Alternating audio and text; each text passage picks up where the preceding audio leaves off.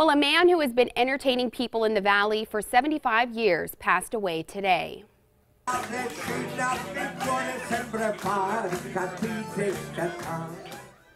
Frank Gallo was a comedian and musician who spent his life giving back to others. He is best known for playing the trumpet and singing.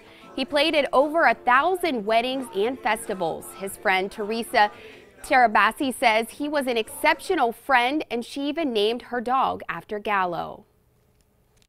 He's entertained for 75 years and he was something on that trumpet. I saw all the good in his heart and all the good for he's a legend. Gallo is said to be an inspiration to other musicians and he will be greatly missed in the community.